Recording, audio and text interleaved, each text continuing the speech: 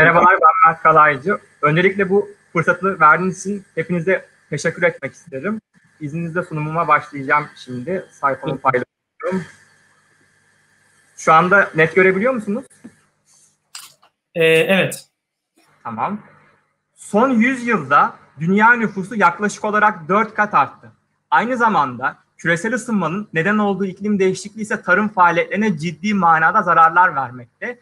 Bu kapsamda 2050 yılında global çaplı su ve gıda krizi beklenirken 2080 e, 2080 yılında da ekilebilir alanların e, kalmayacağı öngörülmekte. Biz de topraksız tarım ve teknolojiyi birleştirerek minimum alanda maksimum verimli çalışan sistemler tasarlamaya başladık 2016 yılında. Topraksız tarımda bitki ihtiyacı olan besini sudan karşılar. Bitki besine hızlı ulaştığı için çok daha hızlı bir büyüme kaydeder. Fakat bu sistemlerde aydınlanmadan kaynaklı 80 ton bir verim kaybı var. Biz bunun önüne geçmeyi hedefliyoruz. Globalde bizim segmentimizin 2024'te 13 milyar dolarlık bir büyüklüğe ulaşması bekleniyor. Biz %0.14'lük bir dilim hedefliyoruz. 2018 yılında TÜBİTAK 1512 programından 150 bin lira hibe alarak İzmir Ekonomi Üniversitesi kampüsü içinde bu tesisimizi gerçekleştirdik. Rakiplerimize baktığımızda 5 milyon dolar fonlanmış bir firma fakat gördüğünüz gibi marulları fizyolojik olarak bozuk. Globalde ve Aero Farms ise e, bitkiyi tamamen büyütmeden biraz büyüttükten sonra baby adı altında satmakta. Bu en basit durgun su kültüründe bizim yetiştirdiğimiz marullarımız. Biz bu kapsamda 2019 yılında Hollanda ve Belçika'ya ziyaretlerde bulunduk. Sektör liderleriyle görüşmeler gerçekleştirdik. Sonrasında 2 milyon değerlendirmeyle yatırım aldık ve aynı yıl TÜBİTAK 1507 programından 521 bin lira fonlanarak İzmir'de 80 metrekare alanda bu tesisimizi gerçekleştirdik.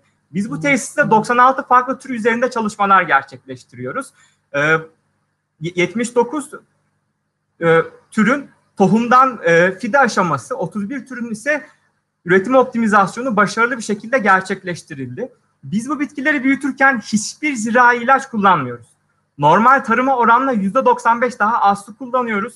İki kat daha hızlı sürede büyütüyoruz ve iki kat daha ez, daha az enerji harcıyoruz. Aynı zamanda 12 ay boyunca istenilen yerde üretim imkanı sunuyoruz. Aptek Labs birçok alanda faaliyet göstermekte. Murat Hocam ve ben kurucu ortaklarız. Ekibimizde birçok akademisyen ve mühendis mevcut. Şu anda e, bireysel ürünlerimizin satışına başlandı. Mega üretim tesislerinde ise Rusya, Amerika ve 9 farklı ilimizde metrekare bazında teklif isteyen müşterilerimizle görüşmelerimiz devam ediyor. İlerleyen dönemde ise aquaponik kültürle alabalık ve bitki büyütmeyi planlıyoruz. Gelin sürdürülebilir bir geleceği mümkün kılalım. Dinlediğiniz için teşekkür ederim. Ee, çok teşekkür ederiz e, sunumunuz için. O zaman e, jürimizin sorularına geçelim. Ayşe Hanım'la başlayalım. Ayşe Hanım buyurun. Merhabalar, çok teşekkürler sunumunuz için. Ee, şeyi merak ediyorum, maliyet olarak baktığınızda son ürün maliyeti, bütün ürünleri baby diye mi düşünebiliriz yoksa baby olmayan ürün de mi var? Onu Tabii ki bizim ürünlerimizi ben bir daha size e, hemen bir paylaşıyorum. Baby ise eğer baby'lerle kıyaslandığında diğer seralarda yetişenlerle bunlar Türkiye'de baby diye bir üretim yok baktığınızda. Onu Avrupa'da yapıyorlar. Biz direkt e, toprakta üretilen ürünlerle bu tabloda e, görüyor musunuz bilmiyorum ama karşılaştırma süreleri mevcut. İlave olarak da şöyle göstermek isterim hızlıca. Şurada e, biz teklif verirken metrekare bazında ve geri dönüşü e, elektrik kullanımını, besin kullanımını gösterecek şekilde teklif veriyoruz. E, iki buçuk yılda e, geri dönüşü sağlıyoruz yatırım maliyetlerini. Son ürünün e, rakiplerle kıyaslandığındaki fiyat tepkisi ne oluyor? Şöyle söyleyeyim, e, biz daha elektrik harcayarak büyütüyoruz rakiplerimizle kıyasladığımızda. E, kurulum maliyetlerimiz böylece daha kısa amorti etmiş oluyor ve e, biz bugüne kadar 34 farklı aydınlatma türü geliştirdik. Hani şöyle söyleyeyim hani marulun büyüdüğünde roka iyi büyümüyor ya da e, festen iyi büyümüyor. Biz burada bitkilerin maksimum değerlerini elde edecek şekilde büyütme gerçekleştirdik. E, iki kat daha hızlı büyütüyoruz. Rakiplerimizle kıyasladığımızda mesela en son İngiltere'deki bir firmayla kıyaslama gerçekleştirdik. Onlar 250 wattla bizim alanı aydınlatırken biz aynı alanı 120 wattla aydınlatıyoruz ve daha kısa sürede bitkilerimizi büyütüyoruz. Ürünün reyon ömrü, evet. shelf life ve freshness'ında bir farklılık oluyor mu bu ürün e, üretim şartıyla? Olmuyor çünkü şöyle de bir örnek verebilirim size. Hollanda'nın tarımda bizi geçmesinin en büyük sebebi topraksız tarım. Sunumda gösterdiğim e, Hollanda'ya Belçika'ya gittik bölümündeki görselde ki serada sadece 3 milyon euroluk led aydınlatma vardı. Orada domates yetiştiriyorlardı. Hani bu kapsamda çok büyük yatırım yapıyorlar. Çünkü hani orada güneş olmadığı için zaten bu e, tarım türüyle üretim gerçekleştiriyorlar. Tamam. Ve büyük avantajı da iklimsiz bir şekilde üretim gerçekleştiriyor. 12 ay boyunca istediğiniz ürünü tatlı bir şekilde ve zirai ilaç kullanmadan ee, çok teşekkürler. Bir Ömer abi sizin sorunuzu alalım. Emrah Bey sonra sizin sorunuzu hemen alıyoruz. Ee, merhaba Mert. Ee, şeyi biliyor musun? Vaha'yı biliyor musun? Evet duymuştum. Vaha diye bir girişim var. Work Up'taydı bizim. Ee, aynı işi yapıyorlar onlar da. Aynen böyle başladılar. Fakat sonra işte Covid falan girince e, biraz da ben baskı yaptım. Ev ünitesi yapın dedim. Bunu evlere e, verelim. Nitekim yaptılar. Bende de var. İlk müşterilerinden biri de benim. Kendim bir süredir yetiştiriyorum yani. Bayağı bir e, öğreniyorum diyelim. Zor bir iş çok. Gerçekten mesela benim fesleğenlerle marullar çok iyi oldu ama maydanozlar ya da işte diğerleri tutmadı. Hangi sırayla koyduğun işte sulamada hata yapıyor musun? Işıklandırmanın periyodu falan çok fazla evet. değişken var. Şimdi bunu siz kendiniz yaptığınız zaman bunu optimize ediyorsunuzdur. E, ama bu sefer de dağıtım noktası problemi çıkıyor. Halbuki evde yaptığın zaman e, bir kere tazeliği garanti kendin görüyorsun. Evet. Artık kilometre yok yani karbon ayak izi sıfır. Tamam mı? Ee, yani ev ünitesi de düşünüyor musunuz? Onu sorayım sana. Şunu da söylemek istedim. Şu anda sunumda da belirttiğim gibi biz ev ünitelerimizi satmaya başladık Ankara'da e, ve Öyle e, mi? Ha ben kaçırdım onu. Müşterilerimiz mevcut. Şurada mesela e, şu anda görebiliyor musunuz sunumu bilmiyorum ama. Yok görmüyorum. E, şu an ekranımızı göremiyoruz. Hayır. Hemen tekrardan paylaş diyorum. E, paylaş. Açıyorum. Şöyle bir görselimiz var.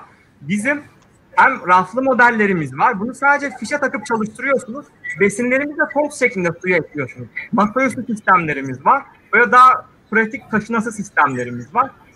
Ee, bunların büyümelerini de şu şekilde size gösterebilirim. Mesela burada limonlu fesleğen ve normal fesleğenin büyümesini gösteren bir çalışmamız var. 17 günde bitkinin rahat bir şekilde büyümesini gerçekleştiriyor ki bu durgun su kültürde. Şu raflı sistemdeki akan su kültürü baktığınızda burada her katta 14 bitki kapasitesi var. Bu sistemde 3 katlı bir sistem.